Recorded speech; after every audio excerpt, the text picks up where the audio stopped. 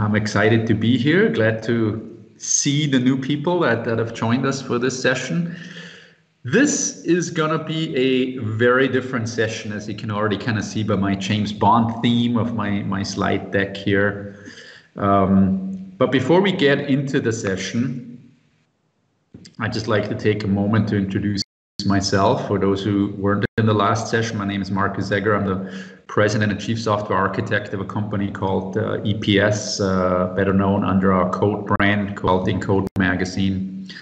And what I do is I spend a lot of time writing code, even though I'm the owner of the company. I spend about 90% of my time writing code and working with customers and doing lots of interesting stuff, uh, also internal, because we own several companies like Code Magazine, and this will become very important for this particular session here.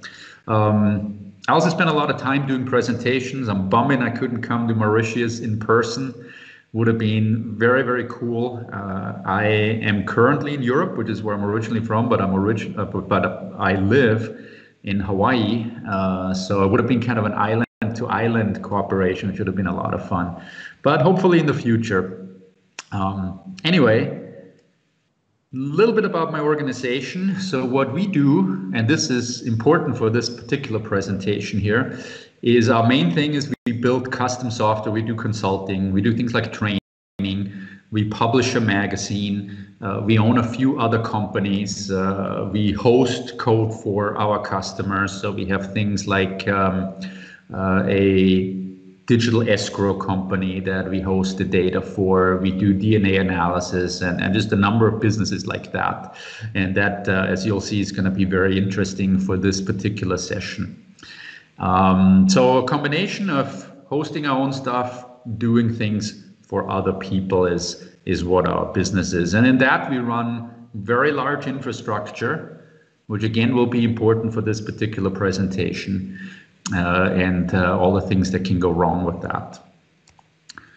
One other thing before I get started here, uh, I already did this in my last session. I'm going to do it here again. Uh, if you're in the session, uh, I invite you to get a free Digital Code Magazine subscription under this URL. It's our standard URL slash VDC 2020, Virtual Developers Conference 2020. So you can get a free subscription, no strings attached, not trying to sell you anything, just a free goodie you can get. But with that, we have a lot to talk about. And this is going to be a, very different session. Uh, for most of you who have seen anything I've either done as a session or something that I've written about, those are usually very much how to sessions. Today, I'm going to tell you a story. And in a way, it's a very exciting story because it's a story of uh, crime, disaster, and recovery. point of view, the excitement wasn't that great, uh, especially when we had to live through it. But uh, in hindsight, it was an interesting experience. Experience that I'm that I feel we've mastered pretty good, uh, an experience that we mastered without anything embarrassing happening, which is why we are among the few that are willing to talk about what happened here. Um, so what what are we talking about here? Well, in a way, we're talking about a Christmas story, a Christmas story. Because what happened essentially is this. This was about the middle of December of 2019. Uh, I think it was December 14th. And it had been a tough year, or not a tough year, but it had been a busy year. Uh, we, we've done a lot of things as a company in 2019. We've created new office space. We've hired a lot of people. Uh, we started a partnership uh, with Microsoft with our magazine, which grew the magazine drastically um, implemented new technologies. We started new areas of uh, expertise where we do consulting in. So it, it was a huge year for us. Uh, we just had our internal developer conference in November, and, and everybody was super thrilled, but also, frankly, a little tired. And that day, December 14th, ironically, I had traveled to Houston, which is where our headquarters is, away from my home in Hawaii. And I had a lot of customer meetings. for two or three days. And this was my last customer meeting of the year. It was a an afternoon and a big dinner with uh, the board members of a very large organization that we had been doing business with for, for years and years. And I came back from this dinner after midnight. I was exhausted, but I was also happy because it was a good year coming to an end, and I was about to head into what I thought was going to be uh, my year end breather, my Christmas retreat, going back to Europe. And so I got to my hotel room in Houston and I had a notification on my mobile phone which said some of our servers were down. And those servers are servers that existed in our own on premise data center. And I thought, okay, we may have a, a problem with the uh, service provider. Perhaps our internet connection went out and it's failing over to some other, to some back, to, to a backup service that we use. And I figured, well, you know, this happens, and, and my guys, I'm sure, already got the notification and they have it under control, and tomorrow morning everything will be fine. And so I went to sleep, expecting anything particularly awful was going to happen. And I got up the next morning, and my phone had literally hundreds of notifications of parts of our system that had gone down. Uh, anything from web servers to databases to you name it had, by the looks of it, just disappeared. And, and that, in fact, was pretty much what happened. So I got up, uh, I called some people, uh, they were all in shambles. I, I went to the office uh, in our headquarters in Houston as quickly as I could. And nobody really knew what was going on, except we knew our infrastructure was just all down. It, it appeared to have just completely disappeared. And we started to, to dig around. Uh, it kind of dawned on us that this was not a natural occurrence. But it was very, very difficult to see what was actually going on because as we went into the office, literally none of our computers were working. None of the servers, none of the laptops, uh, the Wi-Fi wasn't working. We couldn't get into our Linux machines. We couldn't get into our Windows machines. You name it. Everything we had was non-functional. And so we didn't even know what the nature of the problem might be because we couldn't log in with any maintenance systems. Uh, we could just do nothing. And so it took us about two or three hours until we finally managed to get uh, a laptop back up and running. And on that laptop, which didn't boot up anymore, but at least we could turn it on. And we got to a point where we could, with a USB stick, boot this thing up enough to look at the hard drive on them. And at that point, it became clear that we had become the, the victims of a ransomware attack. In other words, we saw one file that was accessible on that entire hard drive. This was the first file that we've been able to access all day, and that file was a ransomware notice. In other words, hey, we've attacked you, all your systems are compromised, and unless you pay us this much money, you will never be able to run any of your systems again. So that is how my well deserved Christmas break 2019 started. And as you can imagine, this was not much of a break.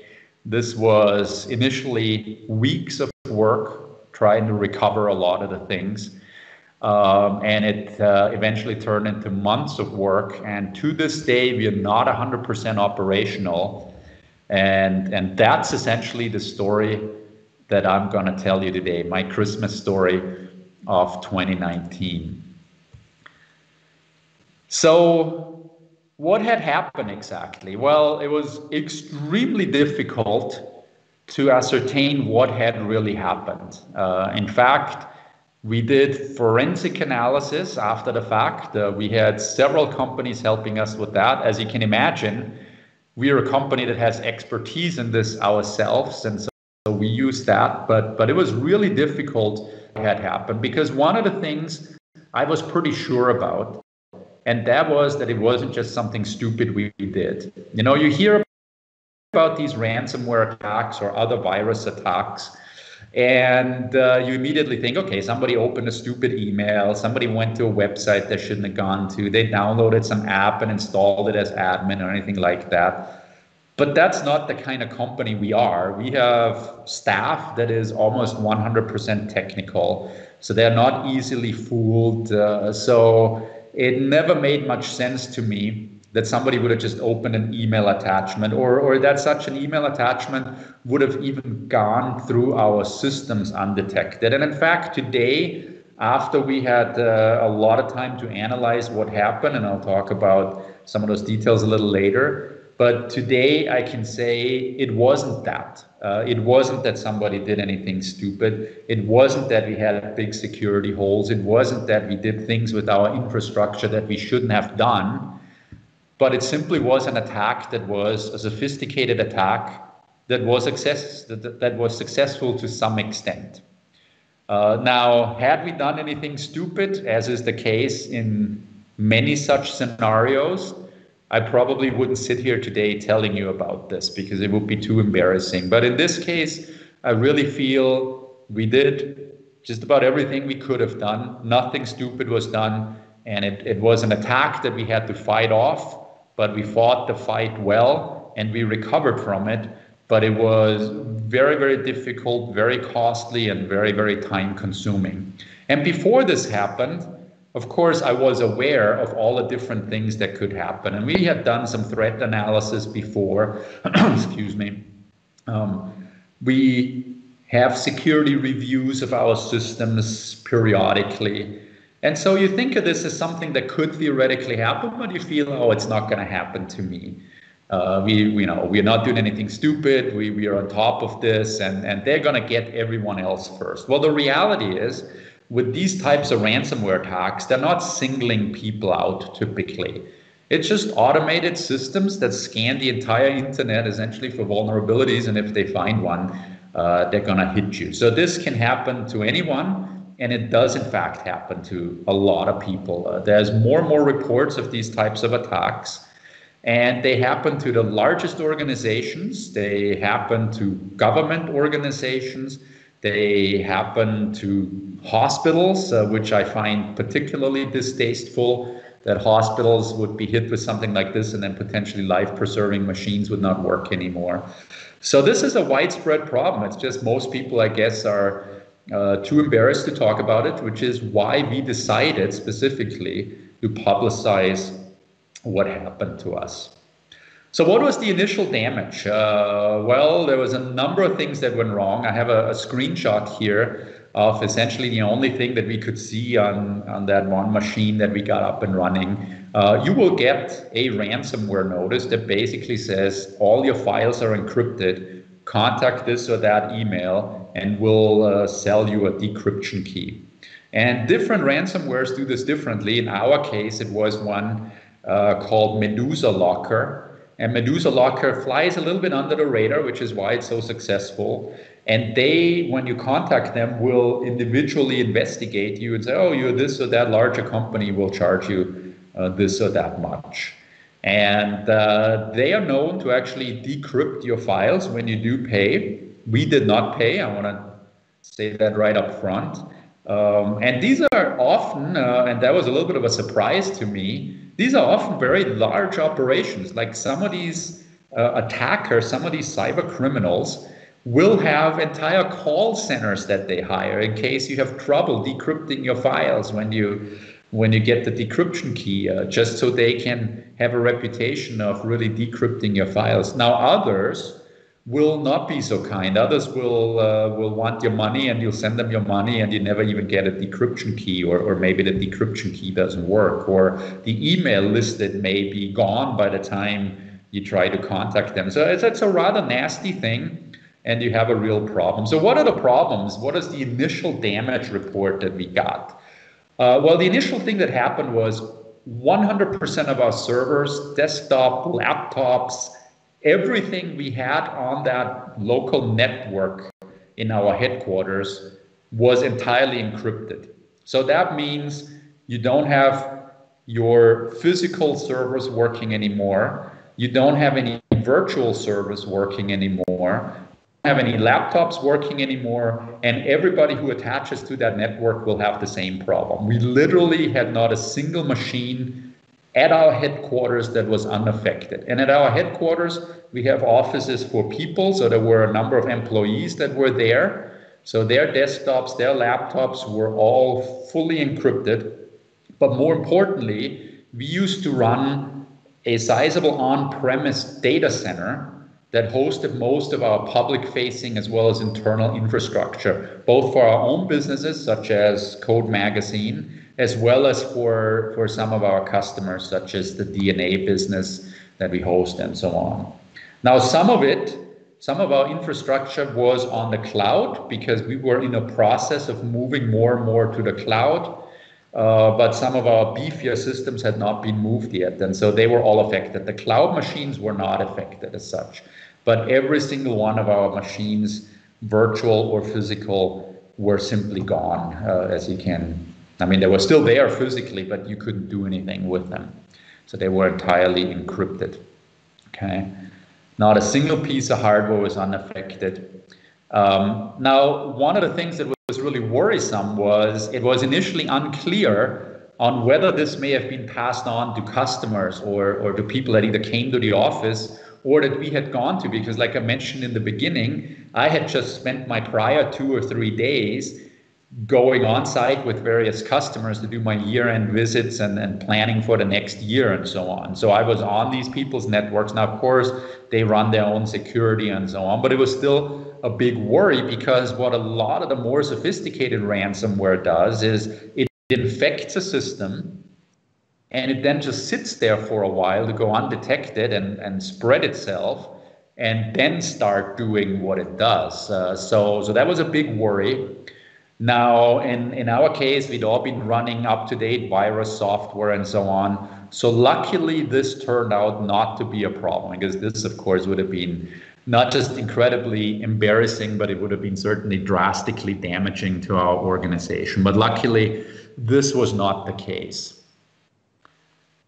Now, as it goes on here, um, what did all this mean? Well, it meant initially that all our public facing websites were down. So if you went to codemag.com, gone. There wasn't even a message we could put up. It was simply gone because the machine was de facto gone. Uh, and we have several other public facing websites, and they all had the same problem just gone, not even a message that was up and running. So uh, that was for all the websites, all the public facing infrastructure that we had, even APIs um, for that matter, were gone because they were mostly in our on premise data center. But it even went a little bit into the cloud, even though our cloud based systems were up and running. They all depended on, or, or almost all depended on some data that came from our other data centers. So the backend services that these systems used were still at our data center in Houston and therefore they were de facto not working either. But at least there we could put up a message that said, hey, you know, we're currently down and, and we'll be back. But for the majority of our sites, it was just, they were simply gone uh, and no ability to put anything up. Um, our internal sites and infrastructures, our back office system, uh, Windows applications that uh, our internal employees or contractors used were down uh, things that were mobile applications that we used internally, uh, our web apps that we used internally, as well as uh, websites that serve the needs of our employees, all gone, simply disappeared. In fact, we had trouble even communicating with people that were not in our headquarters. And, and most of our employees are offsite, they're distributed, they, they're anywhere from Europe to Australia to North America. Uh, we had some degree of difficulty even communicating with them uh, because they could not log into certain system because things like Active Directory controllers were down, DNS servers were simply gone. Okay, so so all that infrastructure was just not working. Okay, mail servers were just gone. So as you think this through, you realize the size of your problem that you have when your complete network goes down. We lost databases. Every single database we had was on premise. A lot of the file storage we had for the more important files was on-premise. So all our SQL data, uh, all our NoSQL data, all our accounting databases, documents, customer data, the list of people that subscribe to Code Magazine and their subscription history, all completely gone and disappeared. So if you were a Code Magazine subscriber that went online, say between Christmas and New Year of 2019 to access their content, gone. It simply wasn't there anymore. There wasn't for, for a while, there wasn't even a message up telling you what happened because we had no means of doing so. Uh, very interesting was the problem of virtual machines within our data center. We had our physical servers, but all our actual servers were virtual machines. They were not just gone, but they were double encrypted. In other words, the servers, the virtual servers in their file systems all those files were encrypted. But then the actual virtual machine files, they were encrypted themselves as well. So they were double encrypted. And as it turned out later, it was a real interesting problem because what this particular ransomware does is it goes in and starts infecting one machine and it then goes out very efficiently. And this is somewhat unique to the Medusa ransomware it goes out very efficiently and it turns off services and so on to get access to other machines. So it is actually very good at disabling your virus protection and stuff like that. And then it starts to, to go out on the on the on a network and access every network resource and start encrypting it. But then what can happen and what we believe happened in our case was that you have different instances of this thing with different encryption keys trying to access the same network shares. So you might have one version of Medusa encrypting one file and another encrypting the other. So you may even have cross encryption scenarios where not every file is encrypted with the same key. And then even if you get the decryption key, uh, you really can't decrypt the entire machine and it becomes very, very difficult. So that was an interesting scenario. Now, the other thing that happened was that all our cloud drives, such as OneDrive, such as Dropbox, and so on, were encrypted as well. And this meant that those encrypted files were, were, were then starting to replicate very fast and very efficiently to everyone who used all this stuff. So this included all the offsite employees. It included things that you had on mobile devices. So if we had something in OneDrive or Dropbox, within no time at all, an employee in Australia may look on their mobile phone in their Dropbox folder and it's all encrypted as well. Okay. So that was something that was very worrisome, although as we'll discuss later, that actually turned out to be not a big problem as such. But that was the damage that we were originally facing. So in a lot of a lot of ways, you can think of this as just uh, everything was gone. You all of a sudden have a company that grew over 20, 25 years with all our infrastructure, with all our history, with all our data gone overnight. Nothing is left, nothing is working. Okay. Now, a little more about the setup we had at the time. Uh, like I said, we, we ran a mixture of cloud-based and on-premise software. So we were in the process of moving to the cloud, uh, to mainly Azure, a little bit of AWS. But the most difficult things that that were the most difficult to move, such as some of our very large databases, uh, which were difficult to move because they were large, but also because of their structure. Like there were some of them were older databases that had a lot of binary files in them, for instance. So we have a database, for instance, that is for, for the production of our magazine. And it had all the data in there that was needed for that, but it also had binary files stored in SQL Server because years and years ago, that's just the way you did it. And so we have very, very large files in there because a print ready production version uh, of a file that goes to a print shop to produce a printed magazine. This is a very high res file that's very large. And not only do you have one of those for a magazine, but you probably have 10 of those because you go back and forth for corrections and reviews. and we had that for 20 years uh, worth of magazines. So, uh, you know, that's one example of why some of our stuff was so large and so difficult to move. And that's why we hadn't moved everything to the cloud yet. And frankly, there was no reason to move some of this to the cloud because we already had all our infrastructure. We already owned all our servers. So our idea was we'll do we'll do a gradual move to the cloud. We're not going to replace old servers, but while we have them, why would we move them?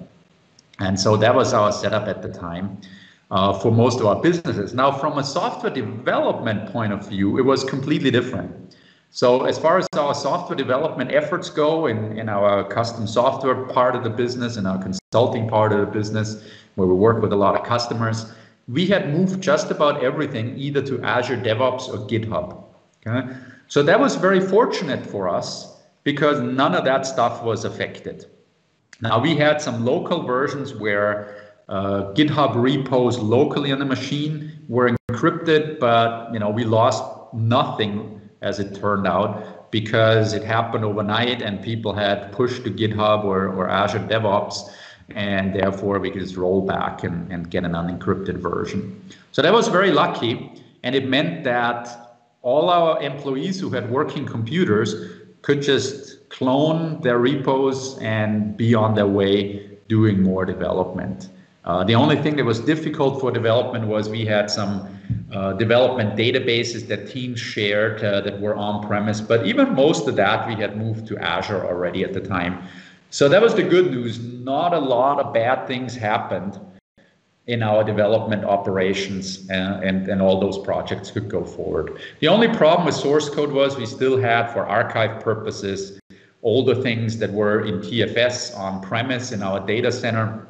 And for some stuff that was way old, but we still kept for archive purposes, that was even still in Visual Source Safe.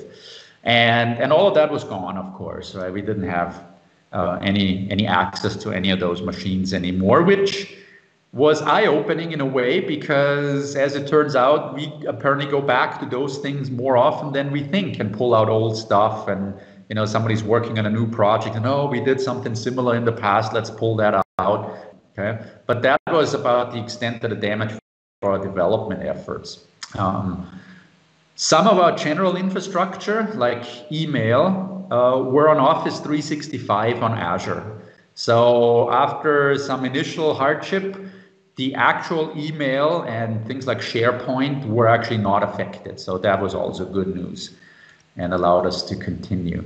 File storage was a mixture of internal and cloud storage, uh, but most of the cloud storage were things like Dropbox uh, and OneDrive that we use a lot. So that was affected. Uh, but the good news is that was similar to GitHub or, or DevOps in Azure, in that, yes, everything was encrypted and everything was encrypted and shared very efficiently. But with all those services, you can roll back. So we were simply able, it was a little bit of a work intensive thing, but we were able to roll all that back to the beginning of the attack. And, uh, and then we had our files back. So that turned out not to be a big problem at all. Uh, all our databases, like I said, that were in our own data center, except for some development databases, but everything that was production, we had in our own data centers, and therefore it was gone. And sites that were of any importance were also internal. So some external websites existed, but they were secondary. So that meant uh, all our websites pretty much were gone, like I've mentioned before. Okay. And very interesting, other infrastructure that you don't necessarily think of so much was gone as well. Typically, when you think of, you know, what gets attacked, what do I need to back up, uh, what data should I replicate maybe offsite, you know, those are databases, those are file storage systems, things of that nature. But what you don't think of so much is things like DNS servers Active Directory servers. How exactly do you back that up efficiently? Uh, and, and how good a job are you doing at that? Uh, we had things like uh, for automated email, we didn't go through Office 365, but uh, you know, if you go into our website and you say, "Hey, I forgot my password. Send me a password reminder or a temporary password," those types of emails went through internal email servers which of course were all gone at that point. And so we had no idea what was sent, what wasn't sent, and so on. Those were the things that were most surprising was these secondary little things that are very, very important for your operations, but that were uh, not necessarily at the forefront of our minds when it comes to doing backups.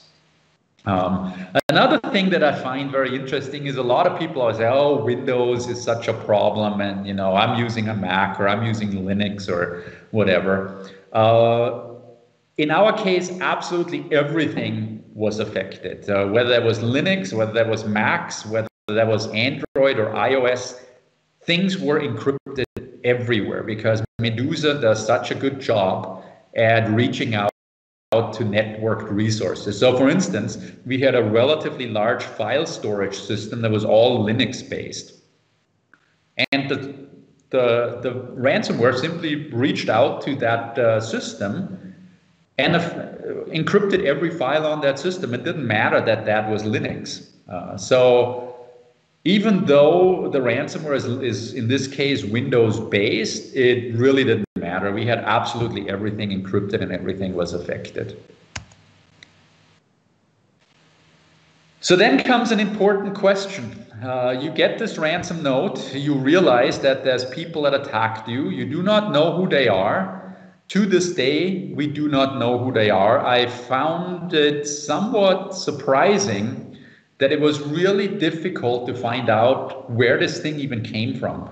With a lot of ransomware, it's been around for a while, and, and this particular ransomware was around, uh, was first detected maybe in September of 2019, not for us, but for other people. Um, very, very little is known about this particular ransomware. And so we didn't even really know who we were dealing with. A lot of ransomware today is actually driven by state actors. In other words, uh, Russia, Iran, North Korea, China. I would not be surprised if the US is in on it, whatever the case might be. I don't really know. But you might be dealing with a state actor. Um, so, so it's kind of a really scary thing in a way. And you realize, wait a minute, we may not be able to get the, get our data back. So, so do you even negotiate with the attackers? Now, I personally, uh, had a very specific opinion about that, but sometimes you may have no choice. In fact, since this happened, we've had several people contact us that were also attacked, and we helped them as a, as a consulting service uh, to recover from that attack. And there were several customers, uh, like a large law firm, for instance, that we worked with, and they simply had no choice. They had no backups. They had no way to really recover from this. And so they had to negotiate with the attackers and they had to pay. In that case, uh, where was a, a sizable law firm, they paid, I think, in the neighborhood of 50,000 US dollars or something like that to get that data back. And that was by far the cheaper way for them to go. And, and then you send them some bitcoins and hopefully you get a key back that worked, which was the case uh, in, in, this example. Um, but we didn't do that. Uh, I was very particular. Like my immediate reaction was, we're not going to deal with these people. We we have backups. We thought. Um, and we're not going to deal with them. We're not going to deal with criminals. We're certainly not going to deal with somebody like North Korea and pay them some money. And we're going to fight back and we're going to recover uh, on our own. And in the end, we did but it was relatively difficult. Now, as it turned out, almost by accident, we had insurance for something like this. Uh, we actually had insurance that was more for uh, what happens if we lose customers' data. Okay, so we had insurance for that, but it specifically included ransomware. And uh, we immediately contacted our insurance uh, and asked for their guidance, and they even had a, a security company work with us uh, which was one of the organizations we worked with. We had several outside companies assist us in this, including Microsoft. Um, but in this case, the insurance insisted that we did contact them and negotiate. And so I said, okay, we want none of this, but if you want to do this, go ahead and contact them. And so they did. And uh, what happened is they wanted four bitcoins per recovery key. Now, that was about $30,000 at the time, which in the big picture wasn't that much money compared to the damage we suffered. But it remained somewhat unclear how many recovery keys we even needed because we had a number of servers, of course, uh, affected by this. And it was unclear with the cross encryptions how many different keys there were. So $30,000 would have been on the low end, but more realistically, I think it would have been uh, been much much more than that. Uh, now we also didn't go this route, aside from the uh, ideological reasons that I didn't want to go that route, but it was highly questionable. We felt, and and some of the organizations like Microsoft, for instance, uh, we uh, they were nice enough to assist us from the Azure security team, and uh, they looked at it and said, look, you probably will have a very hard time recovering because of that cross encryption problem.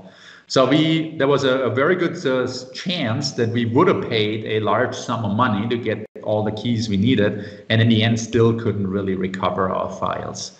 Um, so that was a, specific worry in, in our case. And of course, depending on what the ransomware is, the question is, do you even get a working recovery key after you send them the money. Now, one could argue that all these guys have an interest in making sure that people think they'll get a real key because if word gets around that this particular ransomware doesn't give you a key, they're not going to make much money.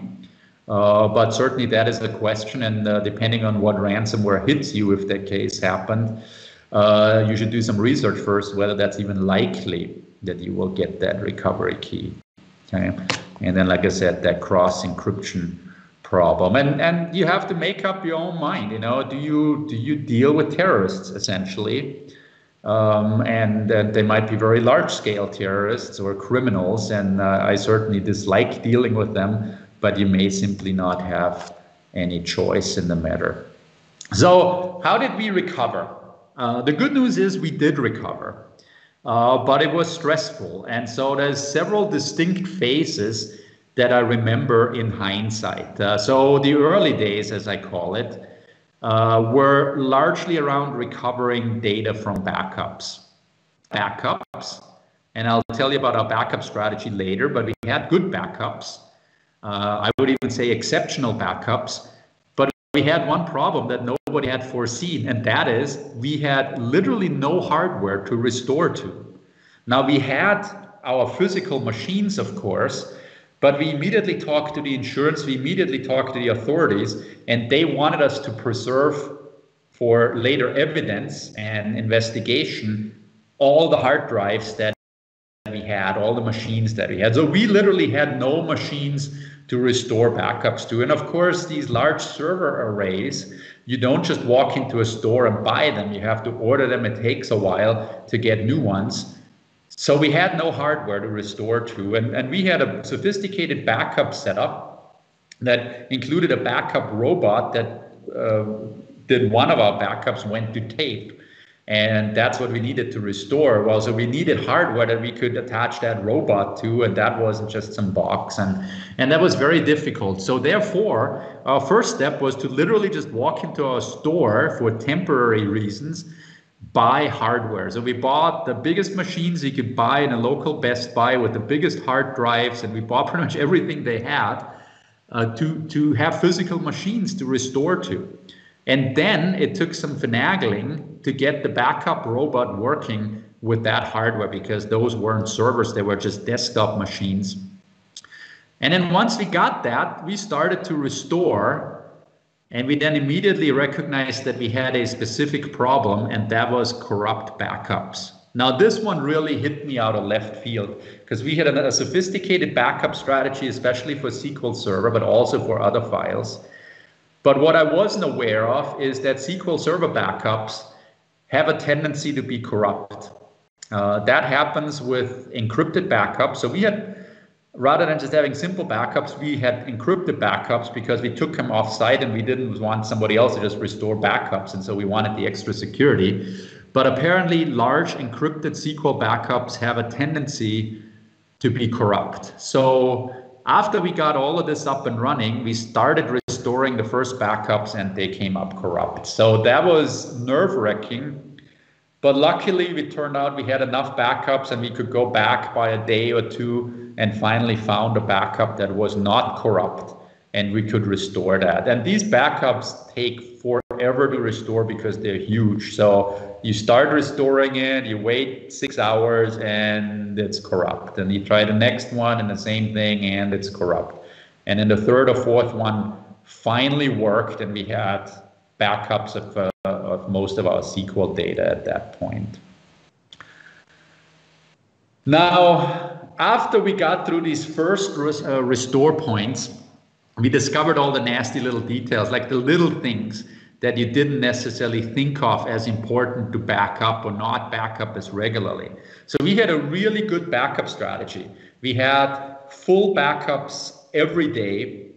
We had incremental backups every 15 minutes. We had duplicates. Some, we always had one set of backup taken offsite. We had one set of backups that remained on site. We even backed up to other hard drives, but of course they were all gone. We had to go with the tapes. So we had good backup strategy. But then there was the little things, uh, the little app that somebody wrote that exported some data for somebody that half the company didn't even know, but it was a convenient little system. And that, of course, wasn't included in the backup. Um, and so we had lots of things like that. Um, also, due to the gradual degradation of the systems as more and more stuff became encrypted, uh, we had several hours worth of data that got created but wasn't backed up anymore. Now, that was a real problem because when you have a magazine and people subscribe to the magazine on an ongoing basis, 24 hours, uh, seven days a week, within a few hours, you take a lot of subscriptions. And, and that was a problem. We had no backups of a few hours, and even that was a real uh, problem because we couldn't fulfill those subscriptions. Now, what we did have, and this was really lucky, is we had an internal system that every time somebody subscribed to the magazine, it sends an email to our subscription department uh, as well as myself and says, hey, such and such just subscribed to the magazine. And those logs we had, so we could later create an import algorithm from those emails that imported this back in. Now, this wasn't all the data we needed, but it was enough so we could fulfill our obligations to those people. Uh, and and that was really really good that we had that. So these these secondary logging systems were really really good.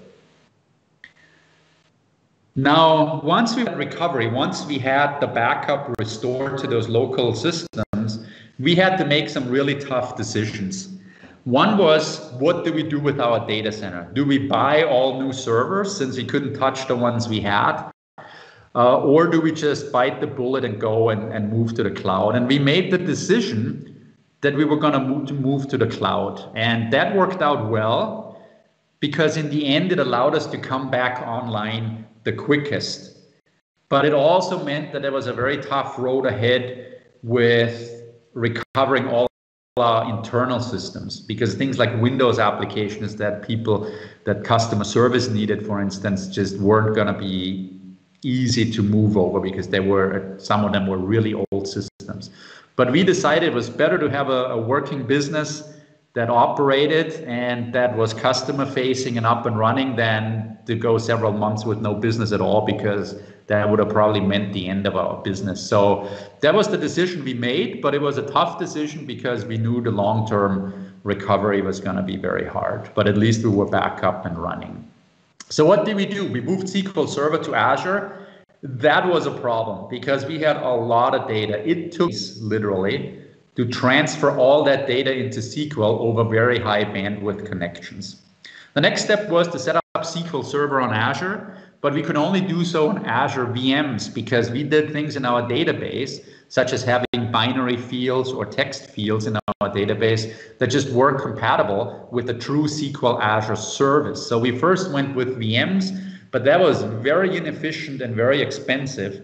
So we then subsequently migrated all of that to SQL Azure by changing our data structures and by implication changing everything that accessed these data structures, which was painful because we had many systems that were very old, had grown over 20 years, and it was difficult to figure even out what those systems were.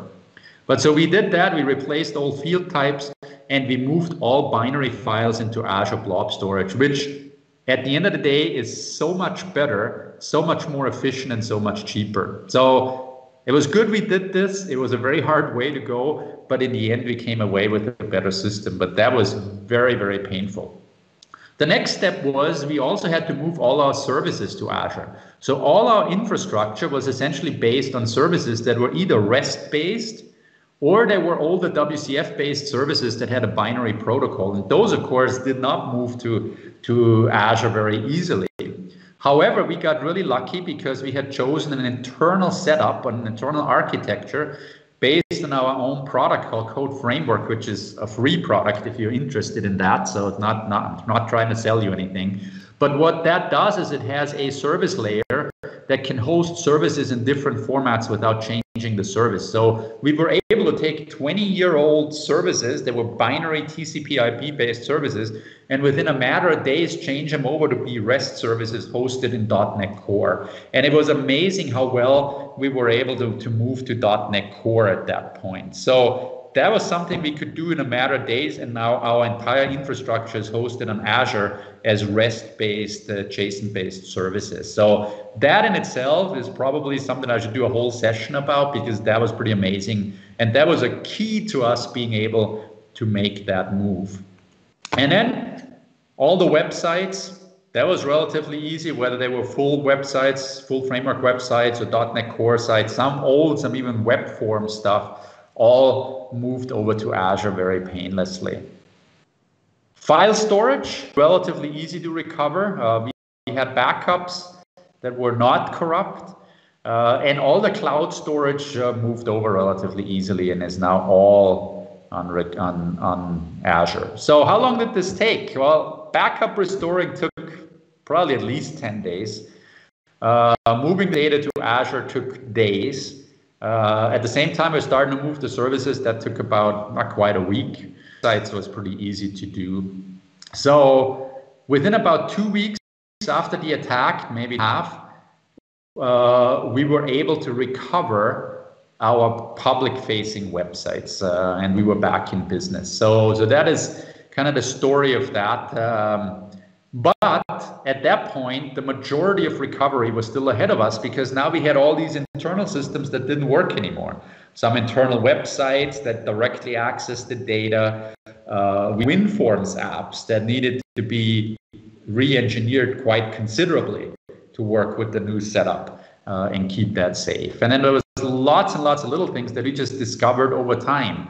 Uh, for instance, we send out newsletters to people when new code magazine content is available that was running, but as it turned out, the emails didn't get anywhere because the email servers were gone. And so lots and lots of little stuff like this is still up in the air. It's now nine months since the attack. And we are, I would say, we're about 95% operational, but we discover new things every day. So it's difficult to even say how operational we really are.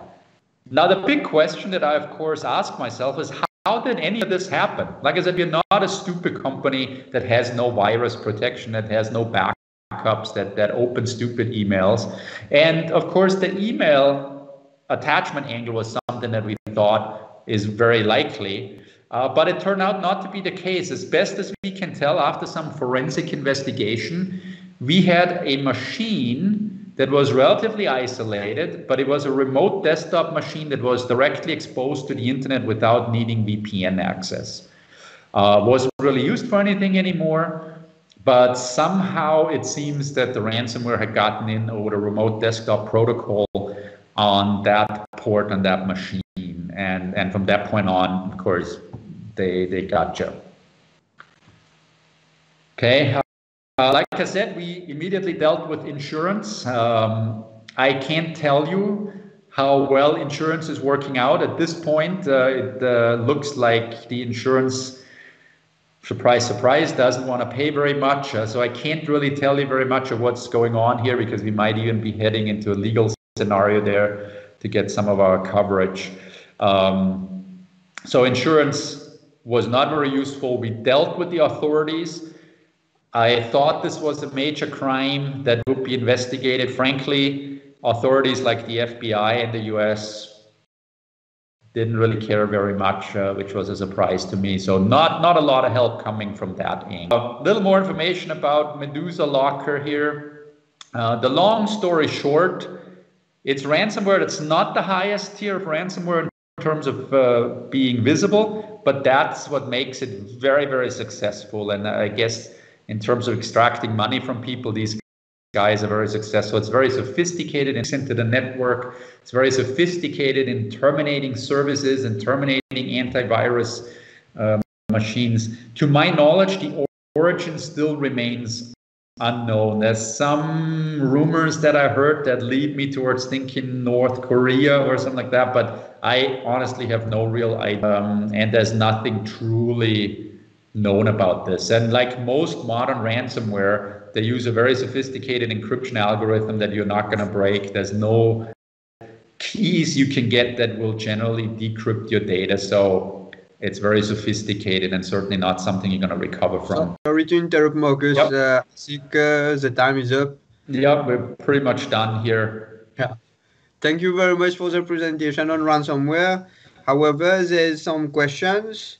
Yeah. I will uh, link, uh, you can reply it on YouTube itself, or I will uh, just uh, throw your Twitter handle in the YouTube comments. They can get to you directly. Is that Absolutely. Yeah, my okay. Twitter handle is uh, just at Markus Egger, and uh, I'd be happy to answer any question. And and yeah, I was pretty much at the end. And so thank you for watching. Awesome. Thank you, Markus. See you. Thank you very much.